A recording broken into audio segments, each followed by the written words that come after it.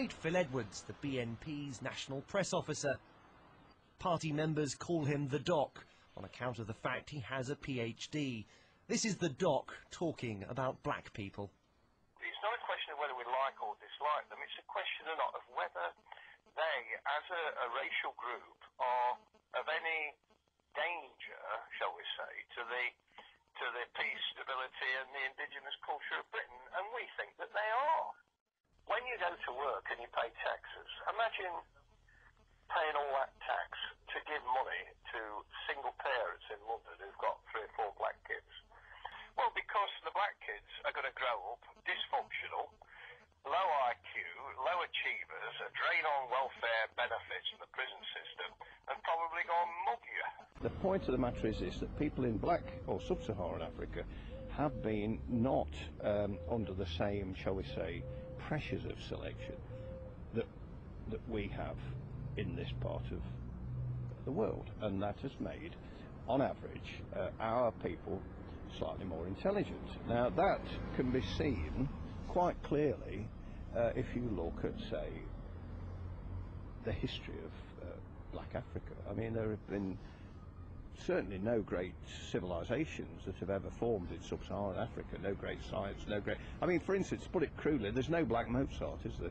There's no black Dickens. I, mean, I don't want to knock the black people, but you've asked me these questions, and I'm, I'm being quite honest with you. I wouldn't say with black women because I don't find them physically attractive. I've never really seen like, an actual Afro-Caribbean woman. I've never seen a physically attractive Afro-Caribbean woman. There's millions of got, Halle Berry. they got bubble lips, big noses. Beautiful lips, beautiful noses. Halle Berry, she's gorgeous, man. I don't think Halle Berry is beautiful. You know, I, just don't find blacks attractive. I don't think a lot of lads do. I like black women in general. Nice asses. I disagree. Good I mean, energy. You know, I have seen Ricki Lake and I know what it's all about. Yeah. There you go, that Ricki Lake. grossly, grossly obese black women in bikinis thinking they look good. It's not. It's like what I said. It's like what I said in the Guardian. You know, he said, "What about Lenny Henry? He's got a white wife." And I said, "Look, it's not ideal. Well, I wouldn't have sex with Dawn French, would you?" Yeah, she's got huge tits. Yeah, And she's should funny. also should also have to fart regularly for you to find her funny. Oh, mate.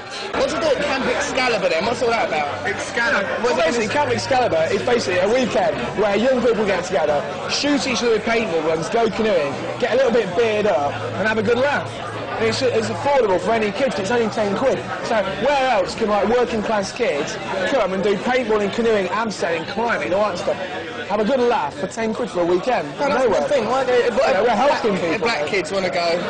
Well, you know what I mean? They can't. Susie Cass works as a fitness instructor. Nick's politics affect even the most fundamental areas of family life. In my birth plan, um, you you write down exactly how you want your birth to go, and um, you know your, your requests and your wishes. And um, one of my requests was that I wanted, you know, a white European midwife. And what happened?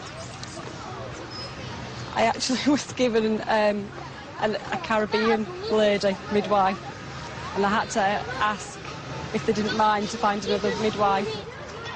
What was, it, what was it about it that didn't make you feel comfortable? Well, I just wanted a, a white midwife But for, for what reason? Because I'm white. You know, yeah, it was being a bit, it was being awkward. Was that, was that your idea or was it Nick's idea? Who do you think? You tell me. It was Nick's idea. I've got Sharron Davies's phone number, I've actually changed it now. And uh, Frank Bruno's mum. Frank Bruno's mum. He's a little fucking black bastard. Like, you know, just, just ring up, give all shit down the face. I was fucking Frank in the pantomime and things like that. You know, yeah, you know, the shit. Sharron Davies and the little nigger kids. You know, so Ian Wright, football. Well, you've got to sort this car. There's no need to try you. Get straight on the burn. Never serve on your road. Any last words? Hang- He says he isn't a drug dealer. Just burn him. He thinks he's not black. he's, he's had enough. He's charged with being black. Yeah, get on there. You're really clever.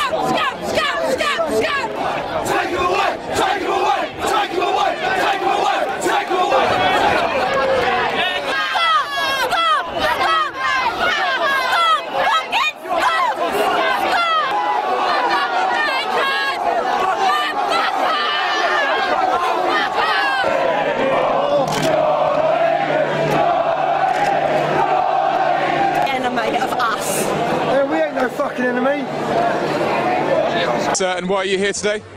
I'm here to protest, right? Because I'm going on a march because I want Britain to be back British. I want Britain to be back British. We've got interracial law. They're trying to put the Iraqi law down on, on, on London, and we, we can't stand for that.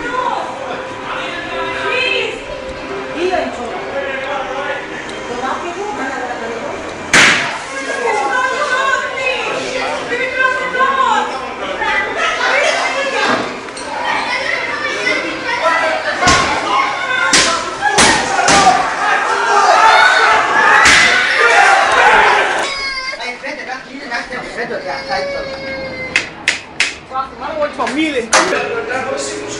Peraí, peraí, peraí, eu não vou ficar nessa boca.